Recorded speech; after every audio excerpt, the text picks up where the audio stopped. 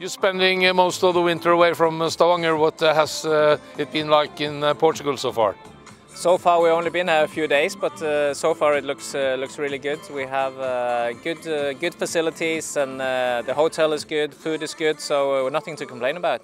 What is uh, the most important thing this week's and the three games down here?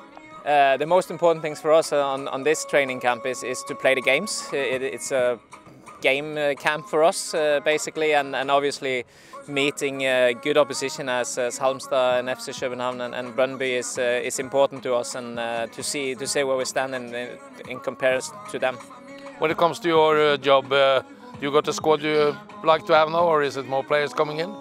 Yeah, we're quite comfortable at the moment. Uh, we have uh, we've done some some business this winter, and uh, what we identified before uh, before we started. So uh, we're quite happy. But there might be uh, might be one or two uh, additions coming in, but uh, we'll uh, we'll have to see. And uh, we only al- already have to we have two months left of the of the window, so uh, we're not uh, we're not in a hurry.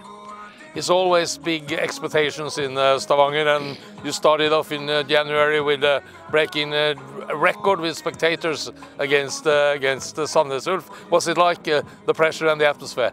Yeah, there's always uh, always pressure in Stavanger for, to to deliver good uh, good football, and uh, obviously the, with the history of the club, then uh, they they expect that we will, will fight in the top of the league. So uh, last year was disappointing, but now we're always optimistic in front of a new season, so we're looking forward to it.